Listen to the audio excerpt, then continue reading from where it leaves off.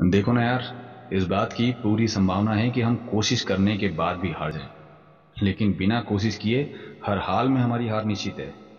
कोशिश करके हार जाने का इनाम एक नया अनुभव है, लेकिन बिना कोशिश किए एक हारने की एकमात्र सजा है जिसे हम कास कहते हैं। और सबसे दुखद बात यह है कि ये सजा हमें अपने ज़िंदगी के आखिरी वक्त तक भुगतनी पड़ेगी। तो फिर क्यों ना हम हर काम की कोशिश करें?